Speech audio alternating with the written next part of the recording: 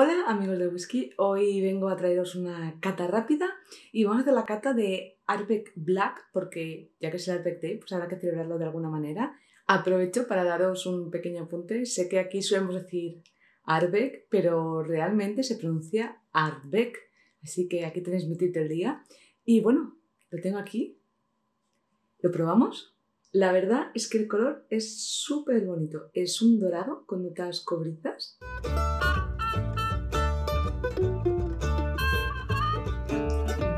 La verdad es que en nariz se notan muchísimo las notas de la barrica de Pinot Noir, se notan las notas de bayas, de frutos rojos, frambuesas, moras. Se nota el ahumado, pero es un ahumado suave, bastante dulce, con más de madera tostada que no de una hoguera o de carbón. Hay notas también de melocotón e incluso un punto herbáceo, así como de, hierba fresca que se equilibra con, con notas salinas.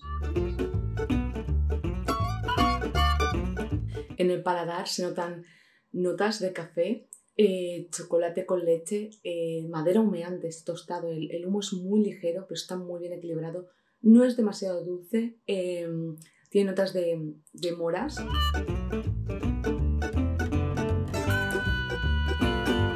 Plátano un poco. Em, se nota eso, el tostado, pero está muy bien equilibrado. El final no es demasiado largo, pero está muy bien. Es muy muy equilibrado, manteniendo las notas dulces con el punto salino, perdiendo poco a poco el humo. La verdad es que me recuerda un poco a Helles Road, que es un whisky australiano que también envejece en barricas de Pinot Noir, pero si tiene que hacerse en barricas de Pinot Noir, que se haga porque realmente es fascinante y me encanta el resultado. Así que nada, feliz Apec Day a todos. Es.